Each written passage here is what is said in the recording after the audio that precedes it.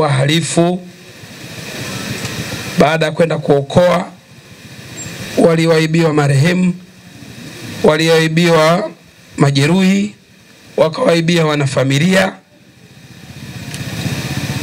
Mbaya zaidi, wameiba mpaka chakula kilichonunuliwa cha kwenda msibani. Ni tabia ambayo haina utu, si ya kibinadamu, kama uhalifu huu, uhalifu uliopitiliza.